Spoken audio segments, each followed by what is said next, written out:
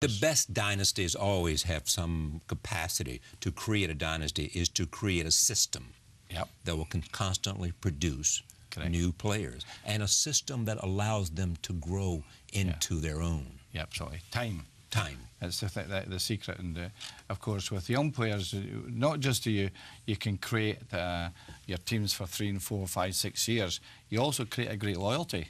Mm. They'll always remember the, the manager who gave them their first chance. They'll always remember, they'll always appreciate that opportunity given. And yet, United have given young players at 16 years of age first team games. Ryan Giggs made his debut at 16 years of age. It has never been lost in giving players with ability the opportunity to play at United.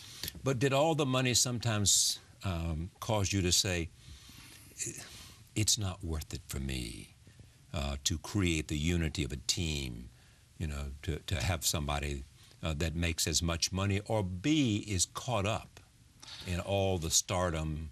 Yeah.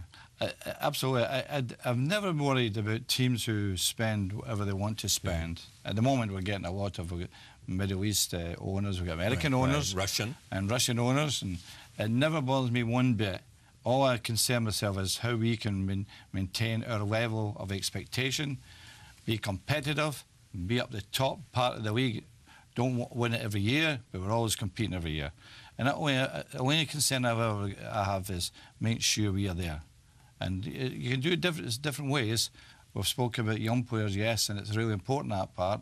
But from time to time, we have spent big money in right. giving the player who can make a difference. Hmm. Who's the best player you ever saw?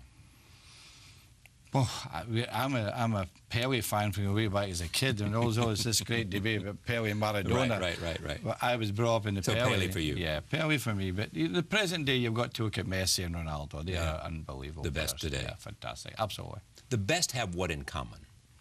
Well, you know, I think they've the courage. You know, what I say this for all the courage. The, courage. The courage to take the ball all the time. The courage to make sure they're not going to be intimidated by their opponents.